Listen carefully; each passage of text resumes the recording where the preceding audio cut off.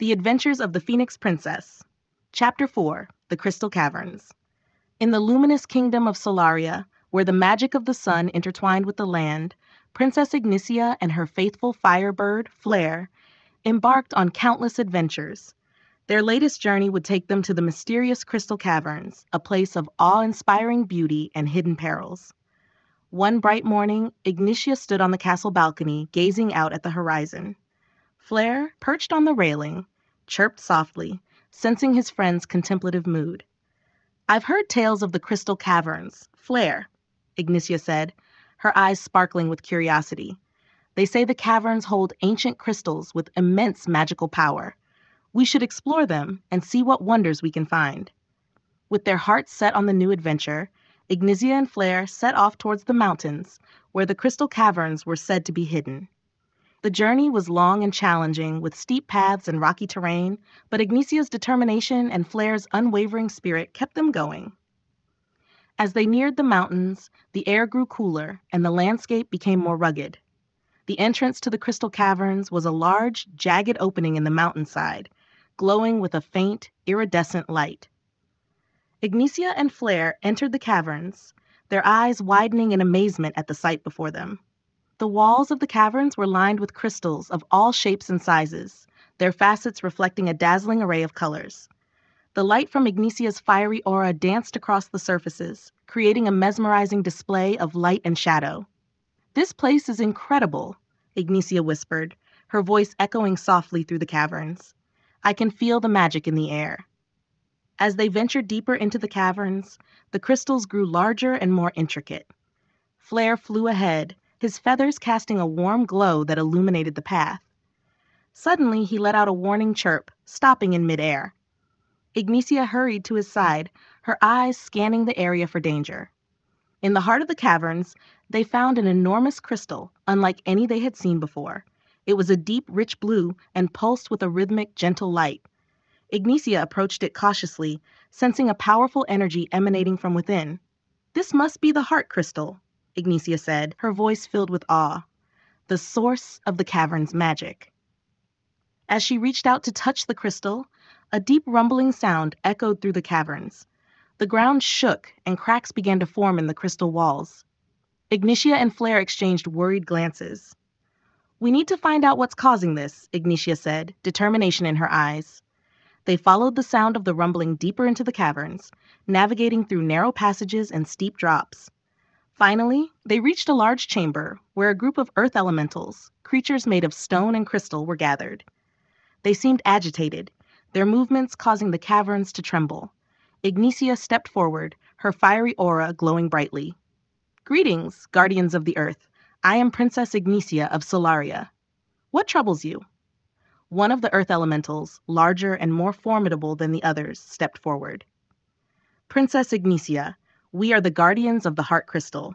Recently, a dark force has been trying to corrupt it.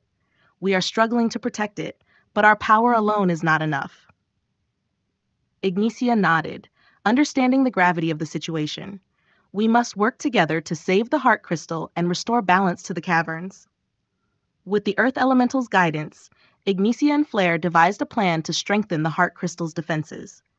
Ignisia used her fiery magic to create a protective barrier around the crystal, while the elementals focused their energy on reinforcing the cavern walls. As they worked, the dark force revealed itself, taking the form of shadowy tendrils that reached for the heart crystal. Ignisia and Flare fought bravely, their combined powers creating bursts of light and fire that pushed back the darkness. The earth elementals lent their strength, their stony forms standing firm against the onslaught. After a fierce battle, the last of the shadowy tendrils retreated and the heart crystal glowed with a renewed, radiant light. The caverns stopped trembling and a sense of peace settled over the chamber. We did it, Ignisia said, her voice filled with relief and triumph. The heart crystal is safe.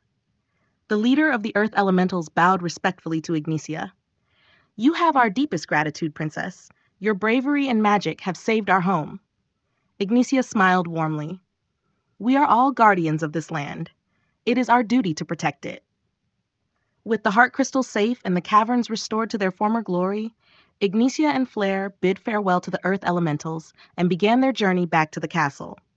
The path seemed easier now, their hearts light with the knowledge of their success.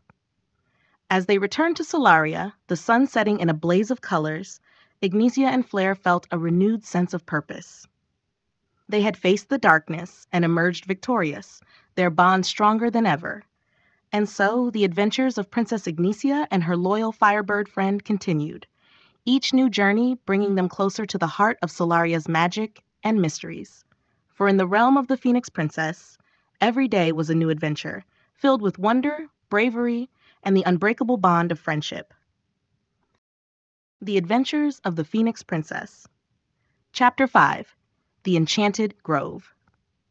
In the resplendent kingdom of Solaria, where the sun's warmth caressed the land and magic infused every corner, Princess Ignisia and her steadfast firebird, Flare, were always on the lookout for new adventures.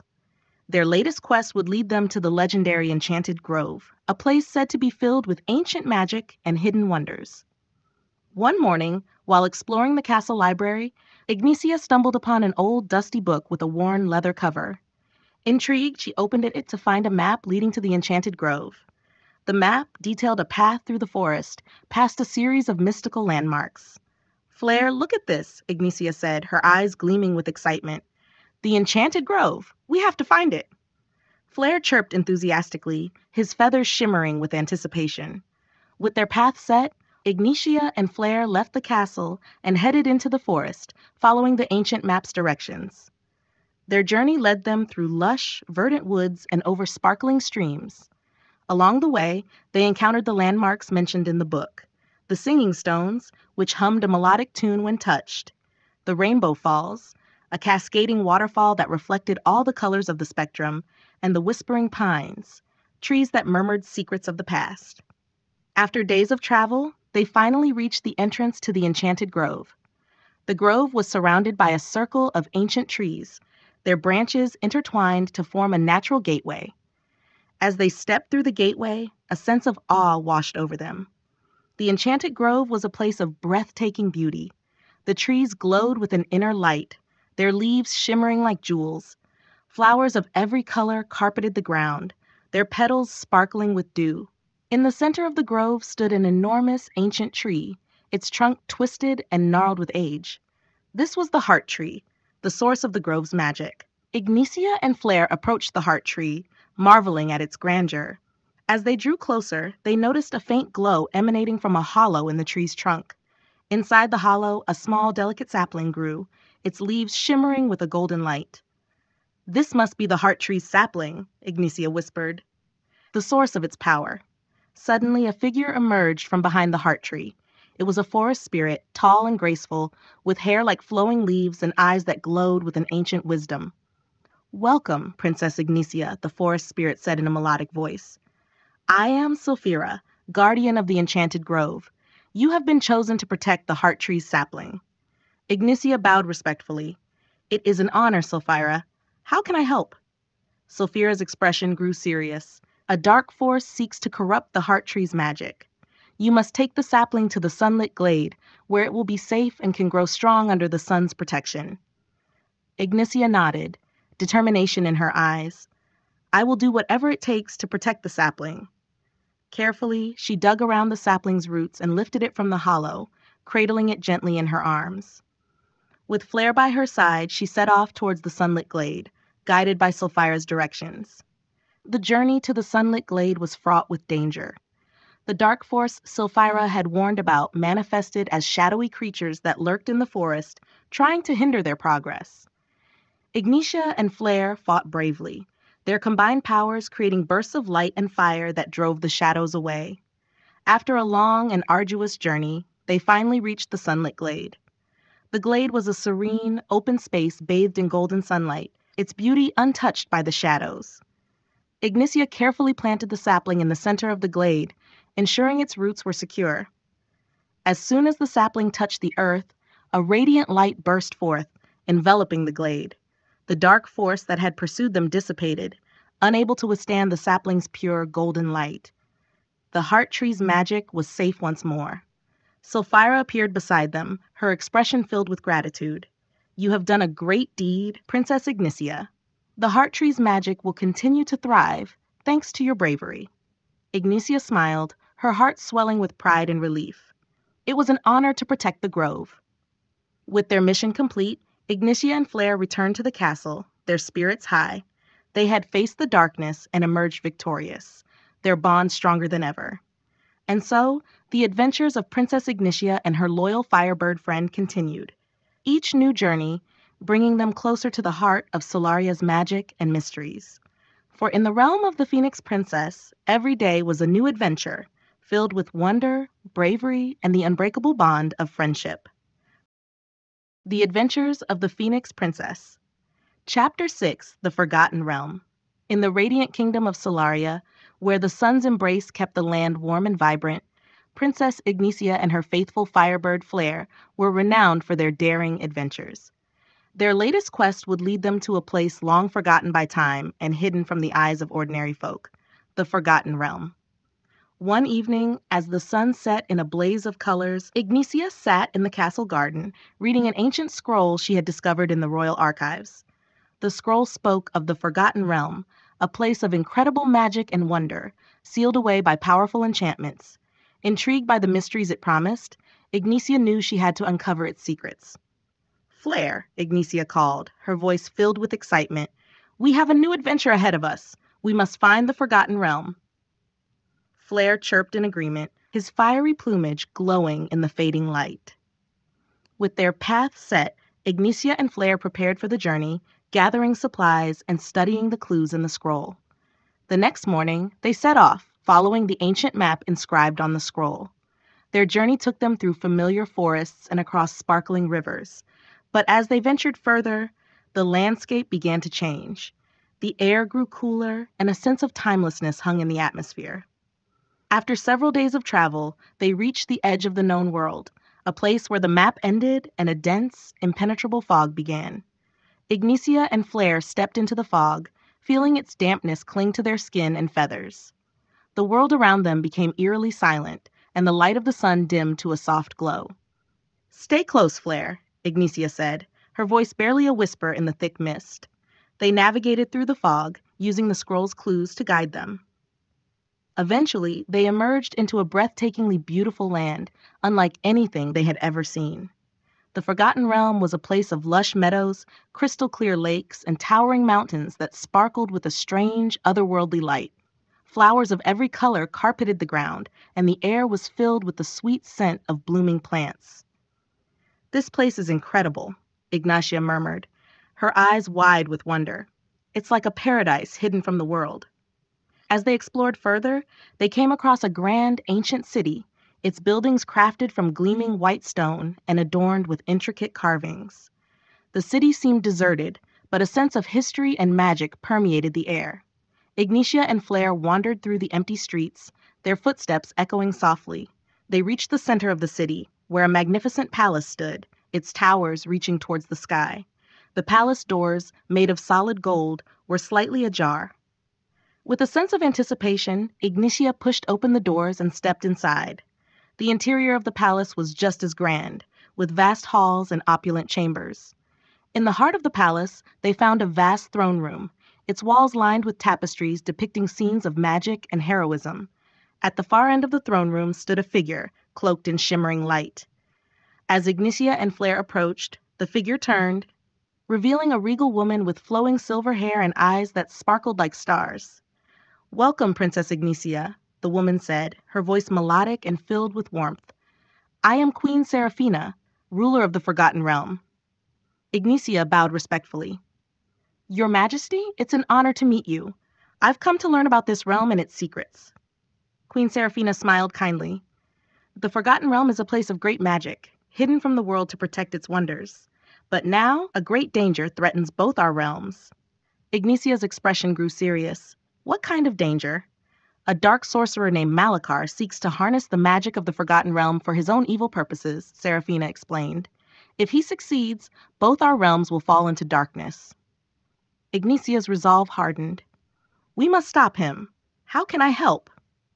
To defeat Malachar, we must retrieve the Crystal of Light an ancient artifact hidden deep within the Cavern of Echoes, Seraphina said. With its power, we can banish the darkness and protect our realms. Ignisia nodded, determination in her eyes. We'll find the crystal of light. With Seraphina's guidance, Ignisia and Flare set off towards the Cavern of Echoes. The journey was perilous, taking them through dense forests, across treacherous mountains, and over roaring rivers. Along the way, they encountered various magical creatures, some friendly and others not. Each challenge tested their courage and resolve.